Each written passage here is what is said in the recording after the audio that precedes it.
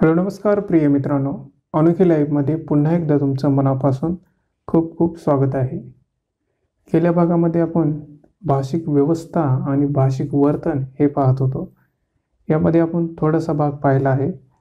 पहा मी पहिल्या सुरू सांगितलं होतं इंट्रोडक्शन व्हिडिओमध्ये की जो पेपर वन आहे तो थोडा जास्तीत जास्त थेरॉटिकल आहे. म्हणजे तुम्हाला जास्तीत जास्त समजून घ्यावं लागतं. म्हणजे भाषा कार्य कुठली व्यवस्था कशी आहे काय त्याच्यामध्ये काय फॅक्टर आहेत हे खूप डिटेलमध्ये समजून घ्यावं लागतं आणि लिहिताना तसे आपल्याला म्हणजे ते शब्द बी यायला पाहिजेत. म्हणजे नेमका भेद काय आहे साम्य काय आहे तर या गोष्टी येण्यासाठी थोडा अभ्यास जास्त करावा लागतो. पेपर टूच्या मानानं. आणि त्यामुळं हा जो भाग आहे भाषा आणि त्याचे कार्य आणि इतर जो काय खाली येणार आहे तो थोडा तुम्हाला किचकट कॉम्प्लेक्स वाटू शकतो. परंतु पहिल्या वेळेस वाटतो दुसऱ्या वेळेस वाटतो परंतु तिसऱ्या वेळेस जेव्हा अभ्यास करतो तो एकदम इझी होऊन जातो. म्हणजे अशा प्रकारचा भेद आहे. थोडा पहिल्या सुरू कसं अवघड वा अवघड वाटतं परंतु ते पुन्हा अभ्यास करत गेल्यानंतर खूप सोपं वाटतं. पुन्हा जास्त अभ्यास करायची गरज लागत नाही. फक्त सुरुवातीला स्ट्रगल आहे असं म्हणू शकता. तर हा बी जो भाग आहे भाषिक व्यवस्था आणि भाषिक कार्यामध्ये यामध्ये बी तीच कला आहे. कारण समजायला थोडा वेळ लागतो. आणि कसं वाटतं की बोरिंग आहे झोप येते असं असं होऊ शकतं तुम्हाला. परंतु तुम्ही अभ्यास करा परत परत. आता आपल्याकडे तेवढी काही व्यवस्था नाही की तुम्हाला खूप डेटोल म्हणजे जसं ब्लॅकबोर्डवर समजून सांगता येतं यामध्ये असा भेद आहे असं करता येतं. म्हणजे काहीतरी तितकं डेव्हलपमेंट आपल्याकडं नाही म्हणजे व्यवस्था नाही. परंतु जशी भविष्यात होईल तसं आपण प्रयत्न करूया. परंतु या भागामध्ये तुम्ही जास्तीत जास्त स्वतःला समजून घ्यायचा प्रयत्न करा. व्हिडिओ दोन तीन तीन वेळेस ऐका आणि तुम्ही स्वतः अभ्यास करा. म्हणजे तुम्हाला हे नक्की समजेल. भाषिक व्यवस्था काय आहे? भाषिक कार्य काय आहे? तर करूया सुरुवात. तसं शस्त्र असं म्हणतो की वक्ता आणि श्रद्धा यांच्यामध्ये सामान्य संदर्भ असतो. आणि त्यालाच ससुर लँग असं म्हणतो.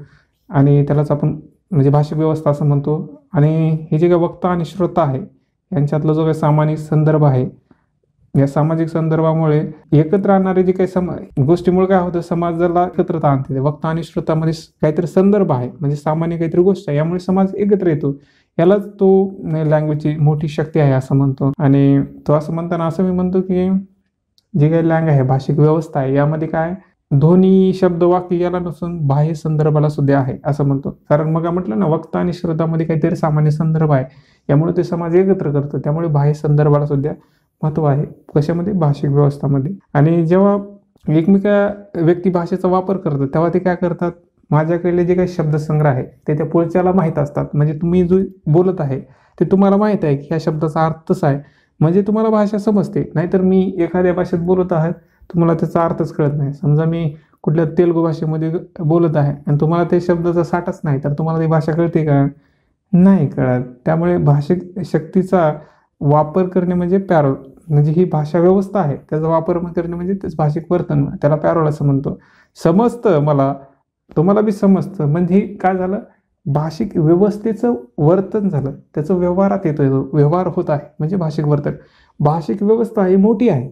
त्याचं जेव्हा वर्तन होतं तेव्हा त्याचा व्यवहारात येतं. त्याला काय होतं? भाषिक वर्तन. भाषिक व्यवस्था आणि भाषिक वर्तन हे म्हणताय. तर जसं म्हणलं की भाषा व्यवहार आहे. त्या भाषा व्यवहारामध्ये आपण म्हटलं की भाषिक व्यवस्थेनंतर भाषा व्यवहार येतो मग भाषा व्यवहारामध्ये काय असतं? मग प्रत्यक्ष बोलणे किंवा ऐकणे असतो किंवा याच्यामध्ये वैयक्तिक भाव असतो. जसं की एखादी व्यक्ती एखाद्या गोष्टीला जास्त कमी जास्त आवाजामध्ये किंवा त्याच्या लकबीनुसार बोलतो. हे काय झालं? तो व्यवहारात आणत आहे. भाषिक व्यवस्थेला तो व्यवहारात आणत आहे. म्हणजे भाषिक व्यवहारता ही व्यक्ती वैयक्तिक एका व्यक्तीपुस्तर सुद्धा मर्यादित असते. जेव्हा आपण भाषिक शक्तीचा वापर करतो तेव्हा ते काय होतं? भाषिक वर्तन होतं. परंतु जी काही भाषिक वर्तन किंवा भाषिक व्यवहार आहे म्हणा यांच्यामध्ये नेमकं काय असतं मग? त्याच्यामध्ये प्रत्यक्ष बोलणं आणि ऐकणं सुद्धा असतं. आणि आपला माहिती आहे की माणूस बोलत असताना तेच त्याच्या लकबीनुसार किंवा त्याच्या स्टाईलनुसार बोलत असतो. त्यामुळं त्याची काही हे लकबी आहे किंवा स्टाईलमुळे ते स्थिर असतं की हे भाषा अशा प्रकारे बोलतो. म्हणजे मी बोलत आहे तुम्हाला आता इतके दिवस ऐकतात तुम्हाला कळतं की याची बोलण्याची स्टाईल अशी आहे. म्हणजे ती काय झालं भाषिक व्यवहार झाला. परंतु भाषिक व्यवस्थेमध्ये काय असतं? तो जो काही व्यक्ती भाग आहे मी जे बोलतो आहे ते माझा व्यक्तिगत जर भाग सोडला तर ती काय होते एक त्याची एक अमूर्तकरण होतं ना. म्हणजे सगळ्यासाठी लागू होतं ते. माझा व्यक्तिगत जर भाग सोडला बोलण्यामधला तर ती बाकी सगळ्यासाठी लागू होते. जसं आपण म्हटलं ना मी जर बोलत आहे त्यामध्ये माझे काहीतरी असे लकअप म्हणा साऊंड म्हणा इफेक्ट म्हणा काहीतरी करत आहे. ते जर बाजूला काढले तर ती भाषिक व्यवस्था होते. असं हे आहे. म्हणून आपला म्हणता येते की भाषिक व्यवस्था जी आहे ती अमूर्त आहे सापेक्षता आहे अपरिवर्तनीय आणि स्थिर असते. असं आपला म्हणता येतं आणि ती संपूर्ण समाजाच्या मालकीची असते. बरोबर आहे ना? व्यक्तिगत जर भाग वजा केला तर ती समाजाचीच होते ना? सगळ्यांचीच भाषा होते. त्यामुळे भाषा व्यवस्थेच्या जे काही मूर्त रूपातील आविष्कार म्हणजे पॅरोल असं म्हणतात. म्हणजे जी बोलत आहे व्यवहार आहे तो पॅरोल आहे त्याचं वर्तन आहे. आणि जे काही अमूर्त आहे मोठी आहे त्याला आपण भाषिक व्यवस्था असं म्हणतो. असं आपल्याला म्हणता येतं. मग यालाच सोसरा असं म्हणतं की बोलण्याच्या क्रियेतून अथवा प्रक्रियेतून भाषा तयार होते. म्हणूनच parole is a language in process भाषेच्या क्रियेतून अथवा प्रक्रियेतून भाषा तयार होते. यालाच सोसरा असं म्हणतात की parole in language in process तर आपण पाहिले की जी काही भाषा आहे बोलण्याच्या क्रियेतून अथवा प्रक्रियेतून तयार होते. मग त्याच्यामुळे ससुर काय म्हणतो? Parole is a language in process कारण व्यवहार जेव्हा होतो भाषेचा व्यवहार त्या भाषेच्या व्यवहाराला आपण भाषेचं वर्तन म्हणतो. आणि तोच हे सोसर म्हणतो. Parole is a language and process भाषिक व्यवस्था आहे. पण जेव्हा ती वर्तनात येते तेव्हा ती भाषिक वर्तन बनते. हे महत्त्वाचं आहे. त्यानंतर आपल्याला माहिती आहे की भाषिक व्यवस्थेमध्ये दोन्ही शब्द आणि वाक्य या घटकाची काय असते नियमव्यवस्था असते. आणि ही जी काही नियमव्यवस्था आहे ती अमूर्त असते. सामाजिक एजन्सी असते. परंतु ती निरीक्षण योग्य नसते. कारण त्यातला तो जो अर्थ आहे तो यादृच्छिक आहे. तो आपला ठळकपणे समजता येत नाही. जे काही चिन्ह आहे ते आपल्याला कळत नाहीत. कारण त्याचा असे पूर्ण ते वाक्य झाल्यानंतर बोलल्यानंतर कळतो. अगोदर ते यादृच्छिक असल्यामुळे ते निरीक्षण योग्य नसते आपलं असं म्हणता येतं. आणि परंतु जे काही त्याच्या लागणाऱ्या जे सामाजिक गोष्टी आहेत त्या तर आपला कळता येतात. म्हणजे असं थोडाफार भाग आहे. म्हणजे जी काही भाषिक व्यवस्था आहे ती अमूर्त आहे सामाजिक आहे एजन्सी असते. त्यानंतर आपला माहीत आहे की भाषा व्यवस्था हे एकच जरी असले तर बोलण्याची पद्धत वेगळी असते. जसं की अधिकारी असतील किंवा आपण भाषण देणारे जे काही असते त्यांची बोलण्याची पद्धत वेगळी असते ॲक्टरची पद्धत वेगळी असते गावातल्या लोकांची पद्धत वेगळी असते. आपण जेव्हा मित्रामित्रामध्ये बोलतो ती पद्धत वेगळी असते. परंतु भाषिक व्यवस्था एकच आहे ना? मग ती बदलते कशी? त्या बोलण्याच्या लकेबीवर त्या बोलण्याच्या पद्धतीवरून ती बदलते असं म्हणता येतं. आणि आपला माहिती आहे की एखादी गोष्टीचं आपल्याला जर ऐकू आली किंवा ती समजली तर ती अगोदर एक चिन्हिक असते किंवा चिन्हित असते. जसं अगोदर पुन्हा आपण म्हटलं जसं हा चेंडू हा शब्द. हा चेंडू हा शब्द जर आपण जर उच्चारला तर त्याचं जे काही ऐकविणारा ध्वनिरूप आहे ते चिन्हिक आहे. चिन्ह का असते? कारण ते सगळ्याला माहीत आहे ना. समाजामध्ये जे चेंडू या शब्दाचा अर्थ माहिती आहे. परंतु ते काही ध्वनिरूपात सूचित होणारी जी काही संकल्पना आहे त्याला आपण काय म्हणतो? चिन्हित म्हणतो. म्हणजे चेंडू या शब्दाचा अर्थ जरी तुम्हाला माहीत असेल ना पर ती ध्वनीमधून निघणारी ॲक्च्युअल न पाहता ते काय एक संकल्पना आहे. म्हणजे तुम्ही पाहिलात चेंडूला ते चिन्ह पर जे काही न पाहता तुम्ही त्याच्यावर जे काय करत आहात त्याच्याबद्दल एक सूचित करत आहात दोन्ही रोग तर तेव्हा ती काय एक संकल्पना असते असं म्हणता येतं. त्यामुळे जे काही सोसूर आहे तो काय म्हणतो भाषिक चिन्ह हे स्वच्छ व यादृच्छ असते. चिन्हक आणि चिन्हित यातील संबंध हा एक संकेत असतो. तो काय म्हणतो भाषिक चिन्ह हे स्वच्छ व यादृच्छता असते. बरोबर आहे ना? आपण आताच म्हणलं आणि चिन्हक आणि चिन्हित यातील संबंध हा एक संकेत असतो. त्याच्यामधला एक संकेतच असतो ना चिन्हक. चिन्हक म्हणजे कोणती गोष्ट जी समाजाला माहिती आहे किंवा त्याचं लिहिलेली गोष्ट आहे किंवा तुम्हाला ते कुठून तर भेटलेली आहे म्हणजे त्याचं काहीतरी अस्तित्व आहे. आणि जे काही चिन्हित असतात ती एक संकल्पना आहे. आणि यामधला जी काही गोष्ट आहे त्याला आपण काय म्हणतो? मधली गोष्ट ती संकेत आहे असं म्हणता येईल तर असा ही गोष्ट आहे भाषिक व्यवस्थेमध्ये. आणि ही भाषिक जी व्यवस्था आहे. या भाषिक व्यवस्थेमध्ये आपल्याला माहिती आहे की भाषिक वर्तन आणि भाषिक व्यवस्थेमध्ये ससरनं काय भेद केला आहे ते अगोदर मी पाहिलं आता थोडासा आप- आणखी एकदा पाहू. म्हणजे जी काही भाषिक व्यवस्था आहे त्या भाषिक व्यवस्थेमध्ये काय महत्त्वाचं असते ही एकजिन्सी स्वरूपाची असते ही सामाजिक स्वरूपाची असते पण भाषिक वर्तन कसं असतं? ती व्यक्ती व्यक्तीनुसार बदलतं. जसं आपण म्हणलं की बोलण्याची लक वेगवेगळी असते तसं ही व्यक्तिनिष्ठ असतं आणि ते व्यक्तीनुसार बदलतं. पण भाषिक वर्तन हे मूर्त आहे निरीक्षण योग्य असते तर भाषिक व्यवस्था ही अमूर्त असते. भाषिक व्यवस्था काय असते? एक अर्थाने भाषाच असते ना? भाषिक व्यवस्था म्हणजे काय? भाषाच असते. आणि त्याच्यातली चिन्ह व्यवस्था म्हणजे काय असते? त्याच्यातला एक भाषिकमधला एक संबंध असतो असं म्हणता येतं. त्यानंतर ध्वनिरूप चिन्हक आणि अर्थरूप चिन्हित यातील संबंध म्हणजे चिन्ह होय. ध्वनिरूप चिन्हक आणि अर्थरूप चिन्हित यातला संबंध म्हणजे चिन्ह होय असं म्हणतात. म्हणजे ध्वनिरूप तुम्ही जे ऐकले आणि अर्थरूप हे जे काय ऐकले त्याच्यामधलं जो काय आहे ते चिन्ह आहे असं म्हणता येतं. आता थोडं कॉम्प्लिकेटेड होतं. वर हे तुम्हाला ऐकावं लागेल कारण फक्त एवढं समजा की भाषिक व्यवस्था काय आहे भाषिक वर्तन काय आहे मग तुम्हाला लिहिताना काही पॉईंट आठवले तर खूप छान. आणि तुम्ही नोट्स तर काढत असताल असं मला वाटतं. त्यानंतर ध्वनी आणि अर्थ. म्हणजे मी बोलत आहे निसर्ग ध्वनी काढत आहे आणि अर्थ यात सांगड घालणारा जी काही चिन्हाची व्यवस्था आहे त्याला आपण भाषा म्हणतो. त्यानंतर चिन्ह आणि चिन्हित. चिन्ह आणि चिन्हित यातील संबंधाची व्यवस्था किंवा संरचना म्हणजे भाषा. हे आधुनिक भाषा विज्ञानाचे मूलभूत प्रमेय आहे असं म्हणता येतं. म्हणजे काय? चिन्हक आणि चिन्हित यांच्यातली सा जेव्हा संबंध आहे. आणि संरचना आहे याच्यामुळं आधुनिक प्रमेय झाला आणि ही एक संरचनावादाची जी काही भूमिका आहे ती जन्मली असं म्हणता येतं. त्यांना भाषा आत्मसात होणे म्हणजे काय असतं? म्हणजे ती काय संरचना आहे किंवा नियम व्यवस्था आहे त्याचं ज्ञान होणे. गेल्या बारीसुद्धा आपण पाहिले अगोदरच्या भागामध्ये भाषेचे स्वरूप आणि कार्य. भाषा आत्मसात होणे म्हणजे काय?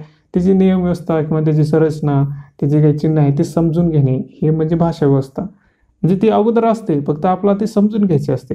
त्याच्यामुळं ही एक नियम व्यवस्था आहे असं आपला म्हणता येतं. पुन्हा भाषिक ध्वनी व स्वन हे प्रत्यक्ष मूर्त भाषिक वर्तनाच्या पातळीवर असतात. भाषिक ध्वनी व सोन हे प्रत्यक्ष मूर्त भाषिक वर्तनाच्या पातळीवर असतात. तर सोनिम ही संकल्पना भाषिक व्यवस्थेच्या अमूर्त पातळीवर असते. हे तत्व प्राग प्राणीच्या भाषा वैज्ञानिकाकडे जाते. अशा प्रकारचं ही आपण ह्याचा अर्थ तुम्हाला कळाला असेल की भाषिक ध्वनी व सोन हे प्रत्यक्ष मूर्त आहेत. ध्वनी व सोन. आणि सोनिम ही संकल्पना भाषिक व्यवस्थेच्या अमूर्त पातळीवर असते. बरोबर आहे ना? सोनिम काय असतं? सोनिम काय असतं? आपला माहिती आहे का? सोनिम एक मूळ ध्वनी आहेत सोनी असं आपल्याला म्हणता येतं. आणि त्याची कसं मग अमूर्त संकल्पना आहे ना मूळ ध्वनी आहे त्याची अमूर्त संकल्पना आहे. आणि जे ध्वनी आणि स्वन आहेत ते कसं आहे त्याला आपण काय म्हणतो एक मूर्त आहे त्याचं वर्तन होतं. हे भाषा वैज्ञानिकांनी सांगितलं आहे. त्यानंतर सोसूरने रूप व आकार आणि द्रव यात भेद करून रूप आकार आणि द्रव यात भेद करून भाषिक व्यवस्थेचा संबंध रूपाशी व आकाराशी जोडला आहे. यामुळं यावरून आपण असं म्हणू शकतो की जी काही लँग आणि पॅरोल आहे यामध्ये काही प्र प्रमेय आहेत ते तीन आहेत. त्यामध्ये पहिले भाषा म्हणजे एक अमूर्त संक संरचना किंवा नियमव्यवस्था असते. भाषा विज्ञानात तिच्या द्रव्यरूपाचा नव्हे तर आकारिक स्वरूपाचा अभ्यास करायचा असतो आणि भाषा विज्ञानाचे योगदान उद्दिष्ट हे एककालिक विश्लेषणाचे असते. तर हे तीन मूलभूत प्रमेय आहेत. कुठले कुठले? भाषा म्हणजे एक अमूर्त संरचना किंवा नियमव्यवस्था भाषा विज्ञानात तिच्या द्रवरूपाचा नव्हे तर आकारिक स्वरूपाचा अभ्यास करायचा असतो आणि भाषा विज्ञानाचे योगदान उद्दिष्ट एककालिक विश्लेषणाचे असते विश्लेषण करायचं असतं. हे तीन प्रमेय आहेत असं असं म्हणता येतं आपल्याला. त्यानंतर चॉम्स्की याच्यावर टीका करताना काय म्हणतात? भाषिक व्यवस्था ही नियमव्यवस्था मानण्यापेक्षा घटक व्यवस्था मानण्याकडे सॉसूरचा कल होता. त्यामुळे मूलभूत घटकाची यादी देऊन त्याचे वर्गीकरण एवढेच उद्दिष्ट सॉसुराने ठेवले आहे. चॉम्स्की काय टीका करतो? भाषिक व्यवस्था ही नियमव्यवस्था मानण्यापेक्षा भाषिक व्यवस्था ही नियमव्यवस्था मानण्यापेक्षा घटक व्यवस्था मानण्याकडे सॉसुरचा कल आहे. त्यामुळे मूलभूत घटकाची यादी देऊन त्याचे वर्गीकरण करून एवढेच उद्देश सॉसुराने ठेवले आहे. तर अशा प्रकारची ही टीका चॉम्स्कीने केली आहे. कुणावर? सॉसरवर. तर आपण पुढचा भाग पाहूया. भाषण आणि भाषा आणि भाषण यामधला स्तरबद्ध आपला माहिती आहे की भाषण म्हणजे काय असतं? भाषा म्हणजे काय असते? भाषा ही बोलली जाणे ही पहिली आठ पण भाषा उच्चारली गेली की ती भाषण होते. आणि आणि तो ऐकून मनात उमटलेला जो काय आशा आहे जो काही उमटलेला आशा आहे त्याला आपण भाषा असं म्हणतो. म्हणजे उच्चारलं जा गेली की ती भाषण. पर त्याचा आशय समजला की मग तो ती भाषा होते. त्यामुळे भाषणाची काही मूल तत्वे आहेत त्याच्यामध्ये ध्वनी दुसऱ्यांदा आघात वाक्य शब्दाचा क्रम. हे बघा हे महत्त्वाचं आहे बरं का. ध्वनी काय आहे त्याच्यामध्ये आघात वाक्य शब्दाचा क्रम. आपल्याला माहिती आहे की बोलताना भाषणामध्ये बोलताना ध्वनीचा कसा प्रयोग होतो? आघात कुठल्या शब्दावर भर दिला जातो? किंवा वाक्य कशा प्रकारे जोडले जातात? ते हास्यवादक असतात कशा प्रकारचे असतात? शब्दाचा क्रम कसा असतो? यमक कसं असतं? त्यानंतर त्याचे वैयक्तिक कसं असतं? तो आज्ञा देत आहे विनंती करत आहे काय करत आहे? अशावरून ही भाषणाची मूल तत्वे आहे हे लक्षात ठेवा ध्वनी आघात वाक्य शब्दाचा क्रम आणि अभिव्यक्तीची वैयक्तिक निवड. यानंतर आपण या जे काही भाषा आणि भाषण आहे यामधला थोडा फरक समजूया. अगोदर बी पाहिले आपण परंतु परत एकदा पाहूया म्हणजे थोडं रिव्हिजन सुद्धा होईल. पहिलं आहे भाषा ही संकेत पद्धत आहे तर भाषण ही प्रत्यक्षीकरण आहे. भाषा बोलली जात नाही ती एक संभाव्य व्यवस्था आहे. आणि भाषेचे ध्वनीत रूपांतर होणे आणि ती भाषा राहत नाही ते भाषण होते. भाषा बोलली जात नाही ती एक संभाव्य व्यवस्था आहे ही भाषेसाठी. तर भाषणामध्ये भाषेचे ध्वनीत रूपांतर होते तेव्हा ती भाषा राहत नाही ती भाषण होते. बोललेले किंवा ऐकलेले ध्वनीचे आकार उमटलेले संस्कार म्हणजे भाषा. तर भाषणामध्ये काही ध्वनिरूप संकेत म्हणजे भाषण होय जी काय उच्चार होतो ती संकेत म्हणजे भाषण. भाषा ही व्यक्ती अतीत असून ती संबंध समाजाची मालमत्ता आहे. ती एक सामाजिक संस्था आहे. पण भाषण कसं आहे? व्यक्तिगत आहे. आपल्याला माहिती आहे की भाषण हे व्यक्तिगत आहे. त्यानंतर भाषिक पद्धती आपल्या स्मरणात ठेवून देतात. त्या सर्वाची बेरीज म्हणजे भाषा. आपण भाषेची डेफिनेशन देताना हे सगळं डेफिनेशन पाहिलं आहे त्यानंतर भाषेला निरकुंशता उपलब्ध नाही. भाषिकता भाषेला म्हणजे कंटेक्समध्ये बसत नाही ते. बघा भाषेला भाषेला निरकुंशता उपलब्ध नाही. आणि तर ब- जी काही भाषण आहे त्या भाषणाच्या बाबतीत व्यक्ती स्वतंत्र आहे. कारण व्यक्ती स्वतंत्रपणे बोलत असतो. तर जे काही भाषण आहे त्याच्यामध्ये कंटेस्ट बघावं लागतं. आणि इकडे हे कसं असतं व्यक्तीनुसार असतं भाषा भाषणामध्ये. भाषी ही चिरकाळ टिकणारी आणि भाषणाच्या मानाने शाश्वत असते. आणि भाषण ही प्रिय असून तिला कालाच्या मर्यादा आहे. भाषण हे तात्कालिक क्षणभंगूर असते. हे महत्त्वाचं पॉईंट आहे. सॉसूरच्या मते भाषा सर्वात स्वयंपूर्वक सामाजिक संस्था आहे. संकेत पद्धत किंवा प्रत्यक्षीकरण बोलले जाणे हे जे काही आपण आता जे काही भेद पाहिले हे सगळेच मान्य करतात असं नाही. सॉसूरच्या मते भाषा आणि भाषण हे परस्पर अवलंबून आहे. भाषा समजण्यासाठी ते फलप्रद होण्यासाठी भाषेची गरज आहे. ससूरच्या मते भाषा आणि भाषण हे परस्पर अवलंबी आहे. भाषण समजण्यासाठी ते फलप्रद होण्यासाठी भाषेची गरज असते. ससूरच्या मते भाषा आणि भाषण हे परस्पर अवलंबी आहे. भाषण समजण्यासाठी ते फलप्रद होण्यासाठी भाषेची गरज आहे. त्यानंतर थोडीशी जी काही सोसूर आहे ह्याची कामगिरी पाहू त्यानं काय जे काही जे काही त्याने म्हटले किंवा त्याची थोडीफार काय तर त्याच्यामध्ये पहिला भाग आहे भाषा म्हणजे समाजाने शिकवलेल्या व आपण अजाणता आत्मसात केलेली भाषक सवयी. तो सौसूर काय म्हणतो ही अमूर्त संकल्पना आहे. भाषा म्हणजे समाजाने शिकवलेल्या व अजाणता आत्मसात केलेली भाषिक व्यवस्था. त्यामध्ये मूलभूत घटक भाषा भाषण भाषाशक्ती यातील त्यांनी फरक केला आहे. कोण? स्वस्वर्ण एककालिक व कालक्रमिक भाषा अध्ययनामध्ये दाखवलेला फरक एककालिक अभ्यासाला दिलेले प्राधान्य हे कुणाचे महत्त्व आहे? हे स्वस्वरचे भाषिक चिन्हाची व्यवस्था त्यानं सांगितलंच आहे. नियम व्यवस्था महत्वाची आहे. कोणत्याही सामाजिक घटनेचा शास्त्रीय अभ्यास त्या घटनेला शास्त्रीय अभ्यास काय केला पाहिजे? त्या घटनेला तिच्या वैयक्तिक आविष्कारापासून वेगळे केल्याशिवाय करता येत नाही. जो काही सामाजिक घटनाचा अभ्यास करायचा आहे त्याच्यामध्ये वैयक्तिक जर पातळी वेगळी केली तर त्याचा अभ्यास करता येतो. हे स्वसरचं योगदान आहे. तर अशा प्रकारे हे स्वसुरची कामगिरी आहे. तर आता तर आपण भाषा म्हणजे लँग आणि पॅरॉल पाहिलं त्याला काही जण भाषिक व्यवस्था आणि भाषिक वर्तन म्हणतात भाषिक क्षमता आणि भाषिक प्रयोग म्हणतात आणि इंग्लिशमध्ये लँग आणि पॅरॉल म्हणतात. तर तुम्हाला फक्त एक एवढंच लक्ष ठेवायचं की भाषिक व्यवस्था आणि भाषिक वर्तन यामध्ये काय फरक आहे? नेमकं कुठलं मूर्त आहे कुठलं अमूर्त आहे? वर्तन कसं होतं? व्यवस्था म्हणजे काय आहे? किंवा सोसरचं मत काय आहे? चॉम्स्की त्याच्यावर काय टीका करतो हे थोडंफार तुम्हाला माहीत असलं पाहिजे. आणि मग आपला पेपरमध्ये नक्कीच लिहिता येतं. तर ही खूप सारं मी सांगितलं आहे जेवढं मला शक्य आहे जेवढं समजते ते तुम्हाला सांगण्याचा प्रयत्न केला आहे. आणि तुम्ही स्वतःचा अभ्यास तुम्ही परत स्वतः करा. तर पुढच्या भागामध्ये भेटूया. काही डाऊट असले तर तुम्ही टेलिग्राम चॅनलवर विचारू शकता. तर पुढच्या भागामध्ये भेटूया. धन्यवाद मित्रांनो.